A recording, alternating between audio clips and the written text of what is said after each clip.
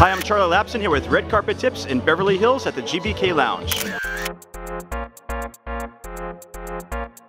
Great afternoon here in beautiful Beverly Hills. Hot. Yeah, it's hot. It's Hot. good. What's your style like? Uh, I let my girlfriend dress me. That's- I like everything that I wear to be fitted, sleek. So my shirts, although my friends make back fun of me back home because they still wear baggy stuff, I'm like, I like everything to be fitted, sleek, and, and just comfortable. Cause I, I gotta have a little facial hair, man. Like I don't like a full beard. It's partially because I can't grow a full crazy beard. And what about up here? My buddy is uh, Lavar is a, a barber, and he's been cutting me for years. So I constantly see him. This time of year, what are the trends that you're looking forward to Oh, wearing? Man, I would I would find the best jackets. I love jackets. I now what I wear underneath it would be something simple like a t-shirt or or uh, a collared shirt, but it wouldn't be the focal point of my my style. The, focal point of the style would actually be my jacket and my shoes. However they work What together.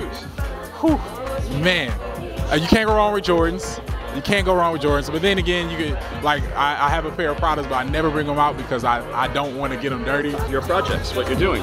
Oh, I have uh, two projects coming up. Um, I was recently casted in a show called Greenleaf. That's going to be on um, the OWN network. I'm a series regular on that. And then I'm very fortunate to work on the show where I'm currently working right now. It's uh, called American Crime Story. It's the people versus O.J. Simpson. What's next for you? Between those two shows, I have the, the show that I'm working on, Following Crime Story. And then that's pretty much it. Hey, how you doing? My name is Tye White. I'm here with Red Carpet Tips.